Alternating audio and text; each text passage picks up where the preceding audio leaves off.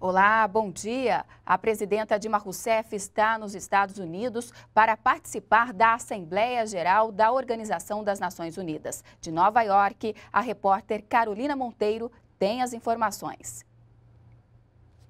A presidenta Dilma Rousseff chegou a Nova York na manhã de domingo. Ela não teve compromissos oficiais. Nesta segunda-feira, Dilma Rousseff vai finalizar o discurso que será feito na abertura do debate geral da 67ª Assembleia Geral das Nações Unidas.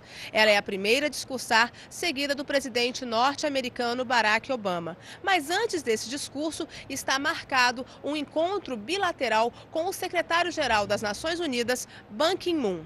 De Nova York, Carolina Monteiro.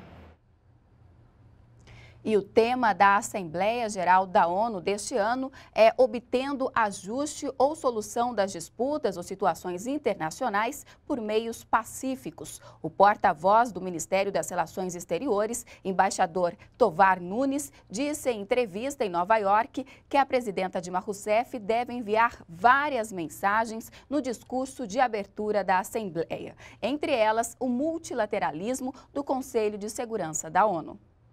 Aqui em Nova York é o momento dela dar um recado multilateral, um recado para o mundo, para as Nações Unidas, e não necessariamente um recado individualizado. Não, não há uma intenção de, digamos, singularizar um país ou outro, ou um grupo ou outro. O recado que será dado pelo Brasil e pela própria presidenta será um recado multilateral. A polarização tem um grande perdedor, que é a própria ONU. Quanto mais polarizado for o Conselho de Segurança, quanto menor entendimento houver, primeiro perdedor é o sistema multilateral. E o Brasil sabe que só no sistema multilateral nós temos condições de encontrar soluções.